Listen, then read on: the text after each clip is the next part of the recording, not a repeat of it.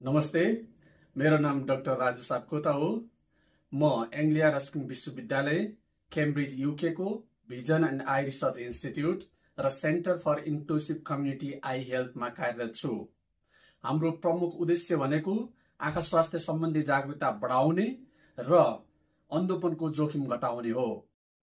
मधुमेहले हाम्रो आँखा लगायत शरीरका विभिन्न अङ्गहरूलाई असर गर्न सक्दछ। यस भिडियोमा हामी मधुमेह के हो? मधुमेहको कोलेस्ट्रोल र उच्च रक्तचापसँग के कस्तो सम्बन्ध रहन्छ? मधुमेह लाग्नका जोखिमका कारणहरू के के हुन सक्छन्? मधुमेहलाई कसरी व्यवस्थापन गर्न सकिन्छ? मधुमेहमा आँखा जाँच किन आवश्यक छ? र कसरी मधुमेह लाग्नबाट हामी जोगिन सक्छौँ भन्ने जस्ता विभिन्न विषयहरूमा छलफल गर्नेछौँ। हामी छलफललाई प्रोत्साहन दिन चाहन्छौँ त्यसैले यस भिडियोको अन्त्यमा तपाईँसँग कुनै प्रश्न भएमा हामीलाई सोध्न सक्नुहुनेछ। धन्यवाद।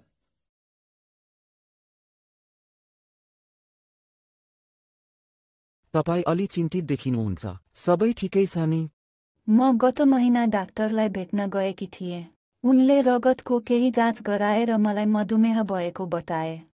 के तपाईँलाई थाहा छ मधुमेह भनेको के हो? यो कुनै न कुनै प्रकारको रक्तरोग हुनुपर्छ। तर म पूर्ण रूपमा निश्चित छैन। मधुमेह एक गम्भीर रोग हो जुन रगतमा ग्लुकोज वा सुगरको स्तर उच्च हुँदा हुन्छ। ग्लुकोज हाम्रो शरीरका लागि ऊर्जाको मुख्य स्रोत हो र हामीले खाने खानाबाट आउँछ। यो ग्लुकोजलाई ऊर्जामा रूपान्तरण गर्न आवश्यक छ। इन्सुलिन हाम्रो शरीरमा अग्न्याशयद्वारा निर्मित हार्मोन हो। यसले ग्लुकोजलाई शरीरको कोषहरूमा प्रवेश गर्न अनुमति दिन्छ जहाँ यो ऊर्जामा रूपान्तरण हुन्छ जसले गर्दा रगतमा ग्लुकोजको आवश्यक स्वस्थ स्तर कायम राख्छ। रगतमा ग्लुकोजको मात्रा उच्च वा निम्न हुनु शरीरका लागि राम्रो होइन। तर कहिलेकाहीँ हाम्रो शरीरले पर्याप्त इन्सुलिन उत्पादन गर्दैन वा इन्सुलिनको राम्ररी प्रयोग गर्दैन। यसको मतलब रगतमा ग्लुकोजको मात्रा बढ्छ जुन शरीरका लागि हानिकारक हुन्छ। त्यो त चाखलाग्दो कुरा भयो। तर यदि हाम्रो रगतमा ग्लुकोजको मात्रा बढी छ भने यो राम्रो होइन र? किनभने हाम्रो शरीरलाई सधैँ ग्लुकोजको आवश्यकता पर्छ। होइन नि समय बित्दै जाँदा रगतमा ग्लुकोजको मात्रा बढी भई मुटुरोग स्ट्रोक मृगौलाको रोग आँखाको समस्या स्नायुमा क्षति र खुट्टाको समस्या जस्ता जटिलता हुन सक्छन्। त्यसैले तपाईँको रगतमा ग्लुकोजको मात्रा नियन्त्रणमा हुनु जरुरी छ। डाक्टरले मलाई मेरो रक्तचाप र कोलेस्ट्रोलको स्तर पनि राम्ररी नियन्त्रण गर्न सल्लाह दिए। रक्तचाप र कोलेस्ट्रोलको मधुमेहसँग के सम्बन्ध छ? पक्कै पनि तिनीहरू फरक हुनुपर्छ। तपाईँको डाक्टरले सही भन्नुभयो। यदि तपाईँलाई मधुमेह छ भने रक्तचाप र कोलेस्ट्रोलको स्तर नियन्त्रण गर्न धेरै महत्त्वपूर्ण छ। मधुमेहले शरीरका साना रक्तनलीलाई क्षति पुर्याउन सक्छ। उच्च रक्तचाप र मधुमेहको संयोजनले तपाईँलाई हृदयाघात वा स्ट्रोक हुने खतरा बढाउन सक्छ। उच्च कोलेस्ट्रोल र मधुमेहले पनि यो जोखिम बढाउँछ।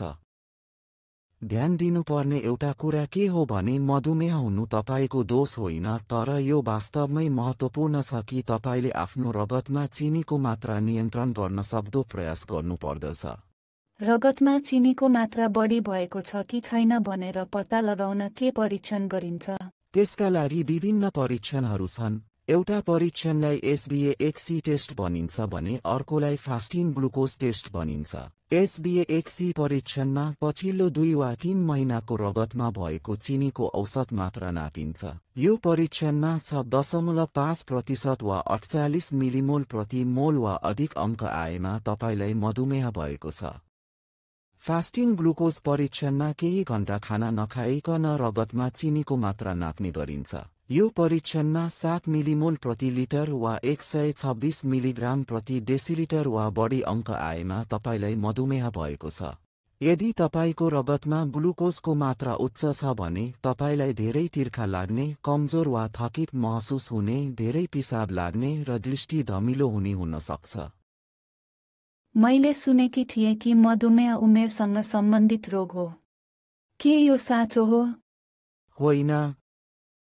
मधुमेहले जो कोहीलाई पनि असर गर्न सक्छ टाइप एक मधुमेहले बालबालिकालाई बढी असर गर्छ जसमा शरीरले पर्याप्त मात्रामा इन्सुलिन बनाउन सक्दैन। वयस्कहरूमा टाइप दुई मधुमेह अधिक हुन्छ जसमा शरीरले इन्सुलिनको उचित प्रयोग गर्न सक्दैन। सबै मधुमेहमध्ये लगभग दस प्रतिशत टाइप एक हुन्छन् र बाँकी प्राय टाइप दुई हुन्छन्। के मधुमेहका अन्य प्रकारहरू पनि छन्? एउटा अर्को प्रकारको मधुमेह त्यो हो जुन गर्भावस्थाको समयमा हुन सक्छ तर यो सामान्यतया बच्चा जन्माएपछि हराउँछ। मलाई गत महिना मात्र डाक्टरले जाँच गरेर उपचार गरे।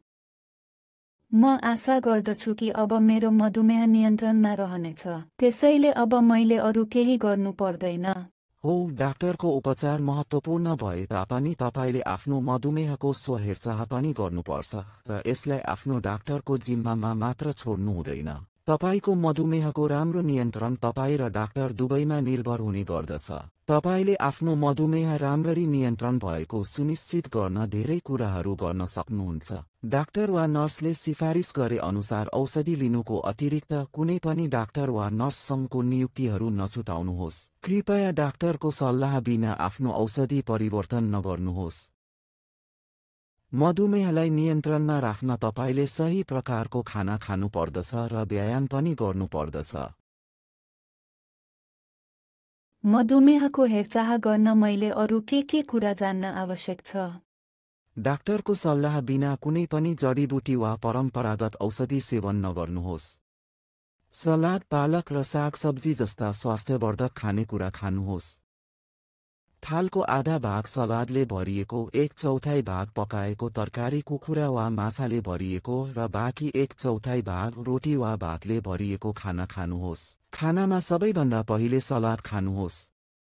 भात कम र आलु पनि कम खानुहोस्। तारेको र नुनिलो खाना पनि कम खानुहोस्। खाना बिस्तारै खानुहोस्।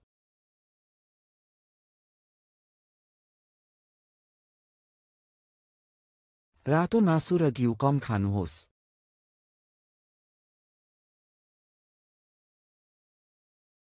मिठाई र बुलियो खानेकुरा कम खानुहोस्। यदि कसैले तपाईँलाई यस्ता खाना खान कर गर्छ भने सोझै अस्वीकार गर्नुहोस्। चाडबाड र उत्सवको समयमा विशेष ध्यान पुर्याउनुहोस्।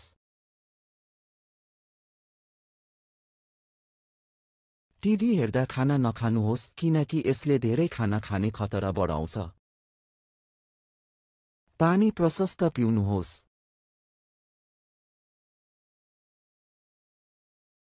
सुर्ती र चुरोटको सेवन नगर्नुहोस्। यदि तपाईँको तौल अधिक छ भने तौल कम गर्ने प्रयास गर्नुहोस्। साथै व्यायाम पनि निकै महत्त्वपूर्ण हुन्छ। हरेक हप्ता कम्तीमा एक सय पचास मिनट छिटो हिँड्ने दौड्ने र साइक्लिङ गर्ने जस्ता व्यायाम गर्नुहोस्।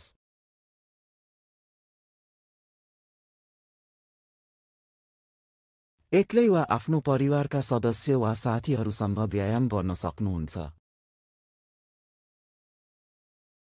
व्यायाम एकैचोटि गर्नुपर्ने आवश्यक छैन। यसलाई थोरै थोरै गरेर गर्न सक्नुहुन्छ तर दिनमा कम्तीमा तीस मिनट हिँड्ने गर्नुहोस्। ढिलो हिँड्नबाट सुरु गर्नुहोस् र बिस्तारै गति बढाउनुहोस्।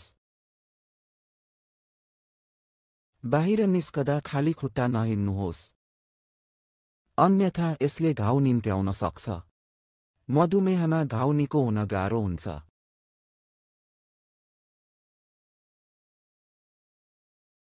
यदि तपाईँ काममा लामो समय बसेर बिताउनुहुन्छ भने बेला बेलामा उठेर हिँड्नुहोस् वा चिया कफी बनाउन जानुहोस्। बस्ने र उभिने रकमलाई नियमित रूपमा साटासाट गर्नुपर्दछ। योग प्रार्थना र ध्यान पनि आवश्यक हुन्छ किनकि यसले तपाईँलाई शान्त हुन मद्दत गर्दछ। यदि तपाईँ तनावमा हुनुभयो भने तपाईँको मधुमेह अरू खराब हुन सक्छ आफ्नो मधुमेहको बारेमा परिवारका सदस्यहरूसँग कुरा गर्नुहोस् ताकि उनीहरूले तपाईँलाई अझ राम्रो सहयोग गर्न सकुन्। यदि उपलब्ध छ भने मधुमेह सहायता समूहमा सामेल हुनुहोस् र मधुमेहलाई सफलतापूर्वक कसरी व्यवस्थापन गर्न सकिन्छ भन्ने बारेमा साथीहरूका कथाहरूबाट सिक्नुहोस्। धन्यवाद। मधुमेहका कारण हुने अन्धोपनबाट बच्न स्वस्थकर खाना खानु र शारीरिक व्यायाम गर्नु किन महत्त्वपूर्ण छ भन्ने कुरा बताइदिनुहोस् न। स्वस्थ खाना खाने र शारीरिक व्यायाम गर्नाले रगतमा चिनीको मात्रा नियन्त्रण राख्न मद्दत गर्छ। यसले हाम्रो आँखाको पछाडिको भागमा रहेका रक्तनलीमा क्षति पुर्याउने सम्भावनालाई कम गर्दछ जसले गर्दा अन्धोपनबाट बस्न मद्दत गर्दछ। के तपाईँलाई एनएचएस वा तपाईँको डाक्टरबाट मधुमेहको आँखा जाँच गर्न निमन्त्रणा पत्र प्राप्त भएको छ? यदि म स्पष्ट रूपमा देख्न सक्छु भने मलाई मधुमेह रेटिना स्क्रिनिङ किन आवश्यक पर्छ? यदि तपाईँ पूर्ण रूपमा स्पष्ट देख्न सक्नुहुन्छ भने पनि मधुमेह रेटिना स्क्रिनिङमा भाग लिनु महत्त्वपूर्ण छ। यो परीक्षणमा डाक्टरले तपाईँको आँखाको पछाडिको भागको तस्विर लिन्छन् र उक्त भाग मधुमेहबाट प्रभावित भए नभएको हेर्छन्। ओहो! म गत हप्ता चस्माको जाँच गर्न आँखा विशेषज्ञ कहाँ गएकी थिएँ? त्यसो भएपछि फेरि जानु किन आवश्यक छ? जानु नितान्त आवश्यक छ किनकि चस्माको प्रिस्क्रिप्सन जाँच गर्ने परीक्षण यो परीक्षणभन्दा फरक छ जसमा आँखाको पछाडिको भागको फोटो खिचिन्छ। डाक्टर वा नर्सको सल्लाह अनुसार रेटिना स्क्रिनिङ गरेमा अन्धोपनको जोखिम साठीदेखि नब्बे प्रतिशत कम हुन सक्छ। मधुमेहबाट अन्धोपनको सम्भावना दक्षिण एसियाली र अश्वेत व्यक्तिहरू लगायत कमजोर सामाजिक अर्थव्यवस्था मोटोपन उच्च रक्तचाप कोलेस्ट्रोल र सुर्तीजन्य पदार्थ प्रयोग गर्नेहरूमा बढी हुन्छ। अझै पनि मैले राम्ररी बुझिन मधुमेह रगतमा हुन्छ भने यो रेटिना स्क्रिनिङ किन महत्त्वपूर्ण छ? मधुमेह मेरो आँखामा त छैन नि। हो तपाईँले सही भन्नुभयो। मधुमेह आँखाको रोग होइन तथापि तपाईँको आँखाको पछाडिको भागमा साना रक्त नलीहरू हुन्छन् जसले तपाईँको दृष्टि स्पष्ट राख्न मद्दत गर्दछन्। रगतमा चिनीको उच्च मात्राले यी रक्त नलीहरूलाई असर गर्न सक्छ रगत बग्न सक्छ र थप क्षति पुर्याउन सक्छ। त्यसैले समयमै उपचार नगरेमा अन्धोपन निम्त्याउन सक्छ। ठिक छ म रेटिना स्क्रिनिङ अपोइन्टमेन्टहरूमा उपस्थित हुनेछु तथापि के मैले चस्माको अर्को जोडी किन्न आवश्यक हुन्छ? होइन। डायबिटिक रेटिना स्क्रिनिङ परीक्षणमा चस्मा दिइँदैन। यो रेटिना स्क्रिनिङ परीक्षण कति पटक गर्नुपर्छ। मलाई थाहा छ कि मेरी आमाले सात वर्ष पहिले गर्नुभएको थियो। त्यो त धेरै लामो समय भयो। स्पष्ट देख्न सक्नुहुन्छ भने पनि प्रत्येक वर्ष एक पटक वा आफ्नो डाक्टर वा नर्सको सल्लाह अनुसार रेटिना स्क्रिनिङ परीक्षणमा उपस्थित हुनुपर्छ। मधुमेहका कारण हुने अन्धोपनबाट कसरी बस्न सकिन्छ? यदि तपाईँलाई कुनै चिन्ता छ भने डाक्टरको परामर्श लिनुहोस्। कुनै पनि मधुमेह वा मधुमेह आँखा स्क्रिनिङ अनुरोध पत्रहरू बेवास्ता नगर्नुहोस्। राम्रो खाना व्यायाम र पर्याप्त निन्द्राको माध्यमबाट आफ्नो रगतमा चिनीको मात्रा नियन्त्रण गर्ने प्रयास गर्नुहोस्। डाक्टर वा नर्ससँग नियमित परीक्षण गर्न नछुटाउनुहोस् र आफ्नो रक्तचाप र कोलेस्ट्रोल नियन्त्रण भए नभएको जानकारी लिनुहोस्। मलाई ज्ञान बाँड्नु भएकोमा धेरै धेरै धन्यवाद। तपाईँले भन्नुभएका सबै कुरा गर्न म हरसम्भव प्रयास गर्नेछु र म वर्षमा कम्तीमा एकपटक मधुमेह रेटिना आँखा स्क्रिनिङको लागि जानेछु। सबै कुरा भगवानको इच्छामा हुन्छ तर हामीले पनि आफ्नो ख्याल राख्नुपर्छ नै। मधुमेह सम्बन्धित केही भ्रम र तथ्य यस प्रकार छन्। मधुमेह खराब कर्मको सजायको परिणाम हो भन्नु भ्रम हो। मधुमेह बहुपक्षीय कारणले हुने रोग हो। यो खराब कर्मको परिणाम होइन। मधुमेह सरुवा रोग हो भन्नु भ्रम हो। मधुमेह सरुवा रोग होइन। मधुमेह एक गम्भीर रोग हो जुन रगतमा ग्लुकोज वा सुगरको स्तर उच्च हुँदा हुन्छ।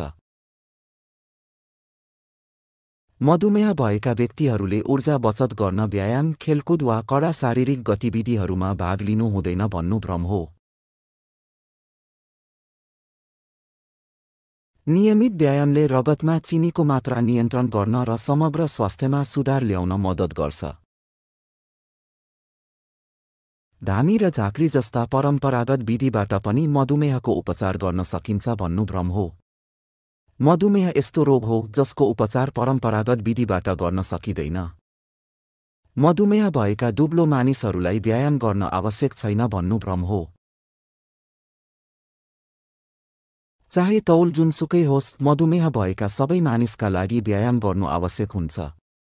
यसले रगतमा चिनीको मात्रा नियन्त्रण राख्नको अतिरिक्त समग्र स्वास्थ्यमा समेत मद्दत गर्छ। तौल एउटा कारक हुन सक्छ तर मधुमेहले जुनसुकै तौल भएका व्यक्तिहरूलाई पनि असर गर्न सक्छ। जेनेटिक्स पारिवारिक इतिहास र अस्वस्थ जीवनशैलीले मधुमेहको जोखिममा प्रमुख भूमिका खेल्न सक्छन्। एकादशी नवरात्रि रमजान माघे सङ्क्रान्ति सत्यनारायण व्रत आदि जस्ता पर्वहरूमा व्रत बस्दा ध्यान दिनुपर्ने प्रमुख कुराहरू यस प्रकार छन्। व्रत बस्नु अघि दिनभरि दिगो ऊर्जा प्रदान गर्ने र ढिलो पस्ने खानाहरू खानुपर्छ। जस्तै ढिलो च्याख्ला जै अण्डा दही कटुस खानुहोस्। उपवास बस्दा चिनीयुक्त पेय पदार्थको सेवन कम गर्नुहोस्।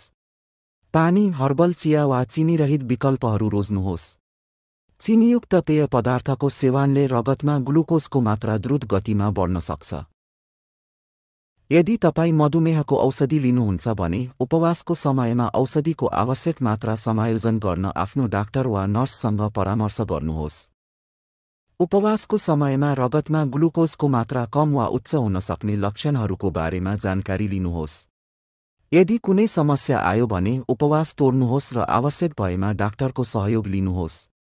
काउली फुलकोबी बन्दाकोबी ब्रोकाउली लौका कर्कालो तिते करेला गुन्द्रुकको झोल तमा बाम्बुको करी फार्सीको तरकारी चनाको तरकारी बोडीको तरकारी हरियो दाल मुग दाल रातो दाल मसुर दाल खैरो दाल गहत मासु माछा। अन्डा प्रशस्त खानुहोस्। रोटी कोदो फापर जस्ता अनाजमा प्रशस्त मात्रामा फाइबर पाइन्छ जसले रगतमा ग्लुकोजको स्तरलाई नियन्त्रण गर्न मद्दत गर्दछ। उच्च कार्बोहाइड्रेटयुक्त नेपाली खानाहरू सेल रोटी बारा योमरी सेतो चामल रोटी गहुँको मैदा फिजी ड्रिङ्क्स सोडा प्रशोधित खाना कम खानुहोस्। यस भिडियोमा प्रस्तुत गरिएका धेरै जानकारीहरू हाम्रो आफ्नै अनुसन्धानको निष्कर्षमा आधारित छन्।